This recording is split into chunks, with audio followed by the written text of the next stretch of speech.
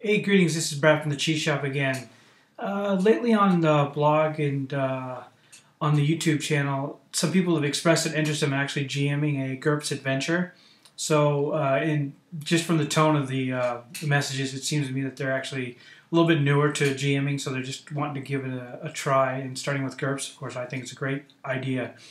So, I figured I'd make just a little video about some of the things that I actually do whenever I start uh, start fresh for a brand new adventure in GURPS.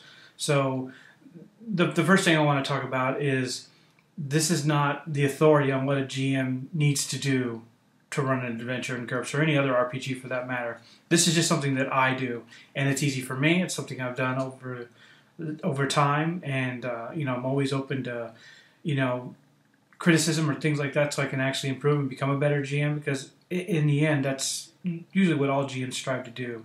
So, um, and the reason why that is is because each person is different and their styles vary. Uh, even the groups and the situations are also different.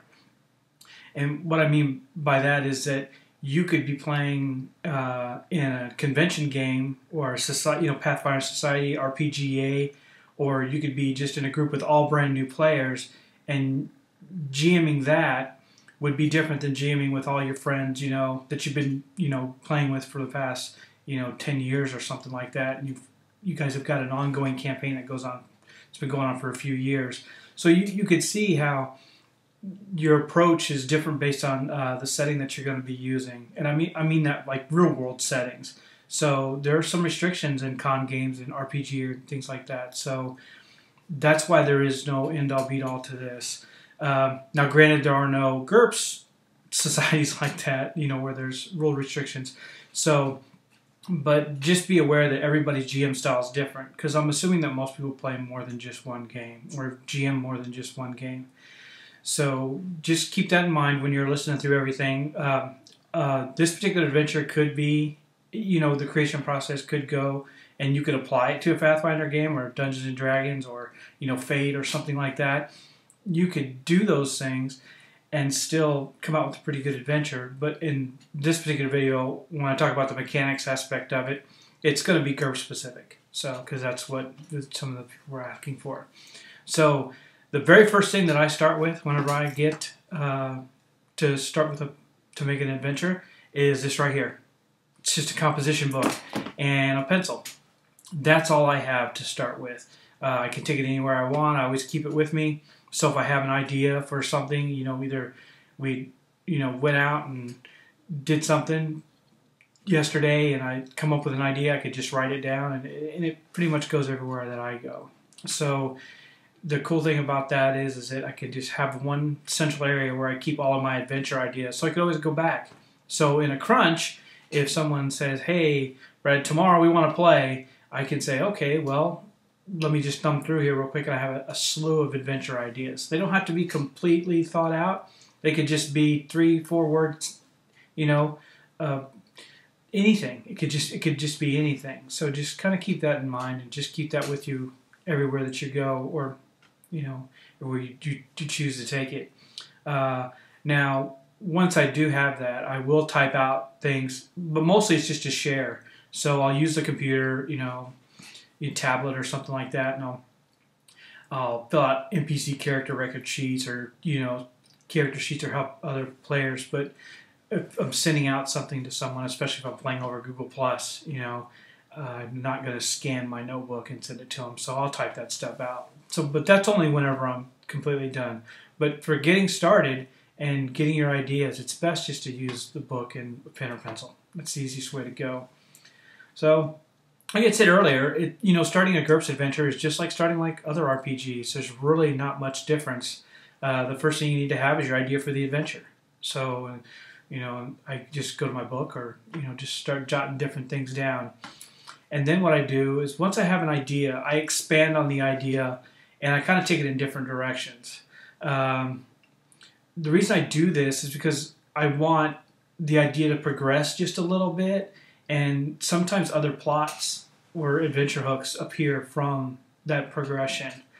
So, to give you an example, I think uh, so. Let's say I wanted to run some sort of pulp adventure, and I'm going to set it in New York City, and uh, it's going to be about the Irish Republican Army and the Italians it, during the the 20s, and they have this need to. They've been fighting against each other. They don't really know what's. Uh, it's not really heated so much right now, but there's like one person in the IRA that's trying to subvert uh, some of the things that the Italians are doing. So that's just kind of really basic. There's not a lot to it. There's just a little bit of background and just a little bit of a starting point. So what I'll do is I'll take that and I'll go, okay. Um, so I have the IRA member. He wants to subvert the Italians. That's the concept, right? So he wants to do that. So then what I do is I say, okay, how does the IRA member start doing this? You know, so does he have a bunch of people around him uh, that are going to be helping him? Is he going to elicit the help from the PCs? Um, so I, I take that information and I just start writing out little things about how that story, how I think it would progress. I mean, if I was playing that and the GM gave us that scenario, how would I start playing it? And then I just write down a few things, and then once I've got them written down, now I've got a little bit more about how the actual adventure could progress. And that's totally in just one direction. Maybe I'll have a couple ideas and it'll go in two different directions. And what that'll help me do is that will help me flesh out the ideas later, uh, and then also give little, the characters a little bit more background on what could possibly happen, and just kind of give them more information whenever they ha- decide to make whenever they have to make their characters. So once I have that idea and I've expanded on it a little bit, the next thing I knew is I need to pick a couple different genres. Now I know I started out and I said 1920s pulp. Okay, that's that, that's a genre. But I could also take that, not IRA, not Italian anymore, but I could take that and, you know, make it the Roman Senate and, you know, some, you know, the Picts or something like that. And they're trying to come in and subvert, and they've been trying to subvert the Romans. And they're, you know, they're tired of fighting and they want to go in. You know, there's a lot of different things. Now we're no longer in a pulp adventure anymore. We're in a, you know, a historical type setting. Or we can take that into space. You know, you're just taking the names and descriptions of specific people and you're just changing it. So if you come up with a couple different genres, two or three, or as, as many as you like, then when you pitch this idea to the players, you can actually say, hey, look, this is kind of what I want to play. I want to play this genre, right? You could say it's going to be space, fantasy, westerns, whatever. It doesn't really matter. And what that'll actually give your players an opportunity to say, well, I really don't want to play fantasy again. I'm kind of tired of doing that. I'd rather play pulp or let's play this in a you know swashbuckling setting. Well, I still have my idea. So you know, granted, it's not IRA and Italians anymore, but now it's you know the Spanish and the French, and then I just pick somebody out of that. So you could still keep your idea, and you could just keep on going with a genre. So that does help immensely, and it, and the players feel like, hey, I've I've got some input into this, and I know we're going to play this. Now, are we going to be playing it with guns in the pulp adventure, where you know you're shooting and you know, with pistols and shotguns and things like that, or are we dueling, you know, with uh, swords and you know knives, things like that? So you, you see, uh, it definitely makes a difference, and it does give the players something feel like they've got some vested interest in this, and it does help, believe me, down the road. So once you finish that, so you know what kind of idea you want, you know what kind of genre. The players have picked the genre. Then you decide on what type of adventure you want it to be. Now this is something that I pick on my own. I because usually with my ideas, I very seldom have I ever played a cinematic game or like a comedic game. Most of the time, my games are gritty and realistic. I don't. It's not that I don't like playing in those games. It's just that from a GM standpoint, uh, cinematic. It's you know, I mean, I do love watching movies and things like that, but it's a really harder for me to wrap my head around a cinematic campaign, and especially a comedic campaign. You know, I can appreciate comedy like you know anyone else, but uh, role playing that is really difficult for me. So I typically stand away from those types of adventures. But you know, you can decide, hey, what type of adventure do you want to GM? Do you want it to be realistic or gritty? or cinematic or whatever. And then you can just let the players know, say, hey, look, this is going to be a cinematic game. This is going to be pretty realistic. So don't be trying to take, you know, able to fight through trees, that wushu stuff, things like that. So once you have that type of adventure done, you, you know, are you going to run a one shot or a campaign? So this is kind of important in that a one shot needs to have some sort of closure at the end. Uh, it can have a little bit of a cliffhanger, uh, but it, should have some closure. Uh, like, you know, the, the PCs, we're go- they're going to go through and they're going to do a couple things and then they're going to finish a particular task. Now that task could take them to somewhere else, or it could be, you know, it could just end just like that, and it's just it's just the end of the episode, and that's all there is to it. So make sure you keep that in mind as well. Um, so if you're thinking about, hey, well, I'm not going to do a one shot, you know, I'm going to be playing with all my friends, and I really think they're really excited about this. I'm going to do a campaign. You don't have to start with 15 different ideas and you know all these different ways that they can play in this campaign. Just let it progress normally. And then eventually, after three or four sessions, you're like, holy crap, we just played a campaign. Or we're in a campaign. Or, you know, this campaign looks like it may have ended, could have ended a couple sessions ago, but now it's just, you know, taking a whole life of its own. So let the players decide whether or not uh, the campaign is actually a good thing. That will help you out considerably as well whenever you're GMing so you don't get too far ahead of what's going on and then have all that information just kind of worthless at that point until some other time. So uh, the last thing you need to know in what type of an adventure, at least from GURPS standpoint, is what tech level is it going to be. Like I said before, 1920s pulp, totally different than swashbuckling times. So make sure you know what tech level, because the players are going to need to know that as well. They're going to need to know whether or not, hey, can I buy a gun or do I have to use a, a sword or slingshot or something. So just be aware that, you know, the, the, the tech level makes a huge difference in what type of adventure you're playing. So once you've got that finished, so now you've got a lot of things figured out so far. You've got the idea, you've kind of got the plot, maybe some different hooks come up into your mind and you've written them down. And you've also decided what kind of genre it's going to be, whether it's one shot, campaign, cinematic, whatever it is, tech level. Now it's time to communicate all that information to the players. So this is where the mechanics aspect of it comes into place. So as a GM, you need to find out what part of this adventure, what's going to be allowed in this adventure and disallowed. And what I mean by that is, so what are you going to let the characters actually create with in the, the basic set? You know, what advantages can they use? What disadvantages? Skills? Anything else that comes into your head, you need to let them know. So, like I said, if you're playing in a pulp adventure, you know, and there's no magic, then you need to tell them up front, hey, there's no majoring even if it seems obvious to you, just let them know that because you don't know if like you know a week ago they just watched you know a Cthulhu movie or read a book or something like that, and they're like, oh yeah, 1920s, that's really cool. I can actually be someone that has like you know like a Dresden kind of thing, and that's definitely not where you were going with your IRA and Italian you know plot hook there. So just make sure that you've got you know your what's allowed and what's disallowed as far as advantages and disadvantages, skills, um, things that you're not going to use. And I know I covered this in a few of the other videos, but just really quick. So, like with the advantages, you know, whether they're mundane, supernatural, you, you know, just let them know this is what you're going to allow and what you're not going to allow. And then once they've made out the characters, and you'll be able to go back and check to make sure that they, you know, didn't completely just wreck your game before it even got started just by making the character. And because the character to character creation process is not something that just takes 10 minutes or 15 minutes to just roll up a character, you need to really communicate that with them the best that you can.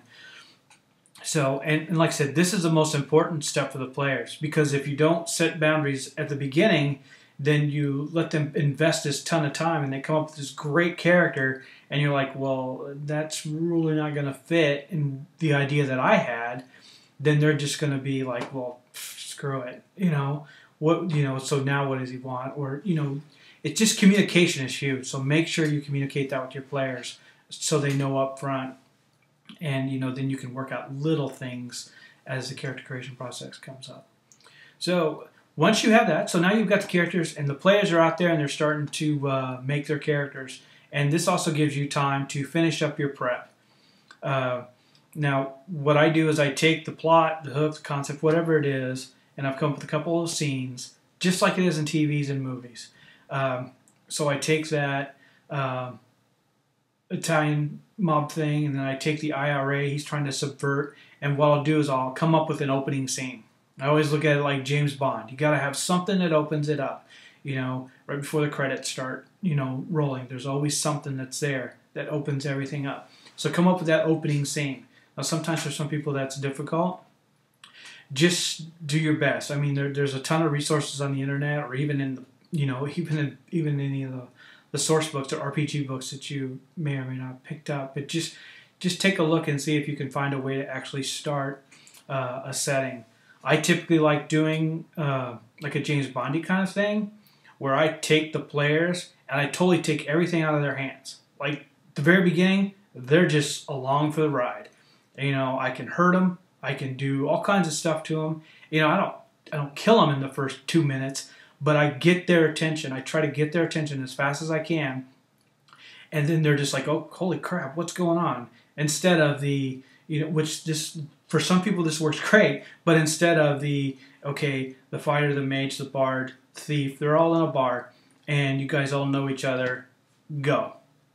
I mean that that works great for players, uh, but like I said earlier, it depends on what kind of game it is. Uh, you know, you know, you do that with a some sort of convention game, and you could spend the first thirty minutes of them just talking to each other about beer, which you know that could be cool. But if that's not what your adventure was going to go be about, then you need to make sure that you. Uh, you know you have all those things laid out so just the first couple scenes and the reason why i say the first couple scenes is because it's been my experience that if once the players start to speak, that's it. It's gone. I mean, they they can go completely different than what you've uh, what you've even considered.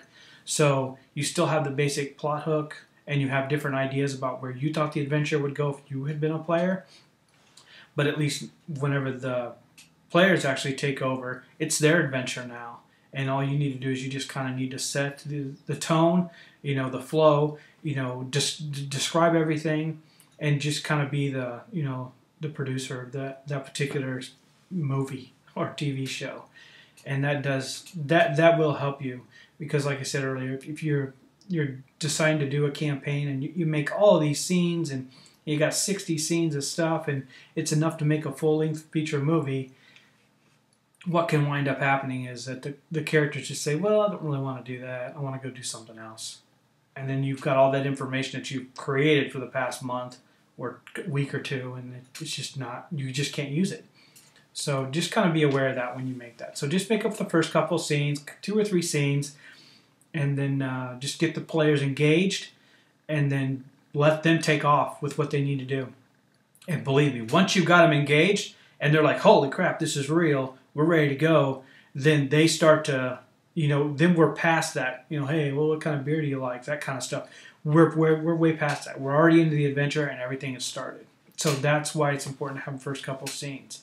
Um, another thing that I do is that I create uh, a couple NPC cards, you know, NPCs with names. So people I think they're going to be uh, important in, in the adventure, I'll create them with their names. And I emphasize the word names because sometimes for people names are really hard to come up with. And if you've got it written down then you know later in the adventure if one of the players says hey brad uh, what was the name of that bartender that we talked to? And i can't go well uh, was it george or john or you know whatever. At least i have it written down and it's on there and i can tell you exactly who it was so that's always a good idea to have the names uh, and when you make the npc don't make a full character sheet uh, I don't really do that. What I do is I use the, the, the little NPC cards, and I'll put a link to that at the bottom here from Steve Jackson Games, and they're just four cards on an eight and a half by eleven sheet, like index cards, and it's just got basic stuff. All your attributes,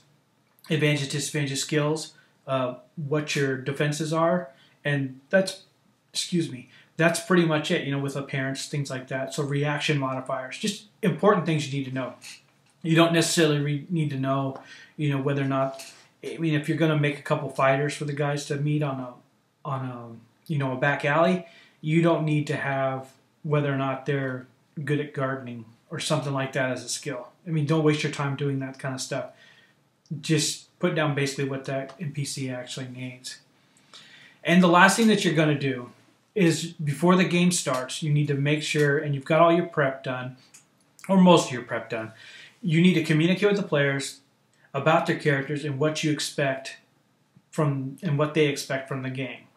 Uh, and sometimes that changes whenever they're making their characters. Like at first they had an idea about what their character was, but then over time it's changed a little bit, and now they expect something a little bit different from the game. So make sure you're communicating back and forth with them as, as often as you can, whether it's by email, on the phone, you know, work, whatever. Just make sure you're you're you're letting them know, hey, you got any questions? You need anything? Uh, has your character changed since two days ago? That kind of stuff. So you're not completely surprised whenever you want to start the adventure. Because it's really hard to ease into an adventure by spending the first hour, half hour, 45 minutes talking about why you couldn't take that supernatural disadvantage. When we said at the very beginning we weren't doing that. So make sure that you actually uh, communicate with your players the whole time so none of that is a surprise and you can just jump right into the game and uh, and to start playing. And this also gives you the opportunity to address any last minute concerns, uh, even up to 15 minutes before. So before the game starts, you can actually say, "Hey, look, get any last questions, anything like that?" Because little things will pop up, and you'll just you'll just fix them right there, and it'll be quick and done. And it's it relieves some of the hassle for the GM, but it also helps the players too because they know now that okay, so what I'm playing with, the character I have, it's going to fit the adventure. We're going to take off, and we're just going to be there to play. Because uh, I mean, ultimately, that that's what you're there to do is to have some fun. So, um, and another thing that happens too at before the game starts is that you you can actually go back and make some adjustments to the scenes. So, if uh, you know a couple days go you know before the adventure begins and you got somebody else that wants to play, you know, maybe a friend, and he's already made his character or he's played before, whatever, and now you've got another person playing or you got a person that dropped out, then you can go back and make some changes to uh, the adventure. You know, just kind of some minor changes to the scenes, and everything still stays intact. Your idea stays intact, everything. So that works out great. Now I know this video's gone a little bit long. Looks like it's at a cut like 22 minutes already.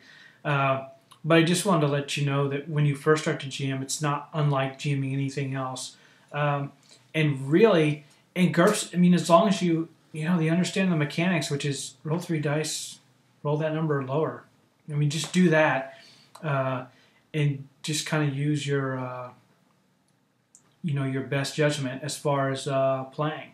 I mean, it's really fun to GM. Uh, it's really fun to GM in GURPS, just because you the system allows the players to have so much freedom and I'm, I mean it's just amazing. So they're not limited by classes and you know things like that. To say that those things are necessarily bad, but that's just for some players having a huge amount of freedom to either be you know the social butterfly or you know the degenerate.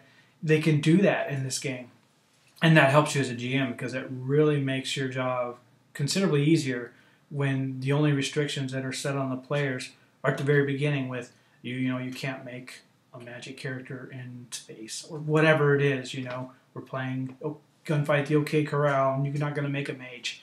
You know I mean I know those I keep saying that but those are just things that are those are the only restrictions that you would have. Just whatever you impose. I mean if as a GM if you wanted to you could say hey there's no restrictions. Do whatever you want. Make a 300 point character and uh, I'm just going to throw you in a situation. I mean, you could do that too, or you can plan out a little bit and just kind of come up with whatever you need to come up with to make uh, your players happy. So, I think I covered pretty much everything that I do whenever I start. Uh, I don't think there's anything else that I that I actually don't uh, do at the very beginning. But just be aware, like I said, this is not a uh, the only way to GM. This is just one way that I GM. And if you found any of this stuff useful, I mean, that's great. Um, and I really appreciate all the feedback that I've been getting. I'd say all of it has been positive. Everybody's been really cool about things and, uh, you know, pointing out like little mistakes I may have made or something like that. But that's cool too because uh, I go back and I look at it. And as I said, nobody's perfect. So, uh, but just play along with uh, making this adventure. And just if you keep doing this over and over again, uh, pretty much it's old hat. You won't have any problems doing it, and and it'll be easy to to do something like this within a, an hour or two or less than that. I mean, you can actually spend way less time doing this. Even though I know I talked about it for 25 minutes, but just writing about it, you'll be able to get it done pretty quick. So. Uh, again, I'd like to thank everybody for watching. And uh, if you haven't been to my blog already, it's thecheeseshop.org. And as always, I'll print links down to uh, the GURPS system. And then also about uh, different things that uh, students may find useful in GURPS. I'll link to that to Steve Jackson Games website. So I uh, hope you have a lot of a good one. Later.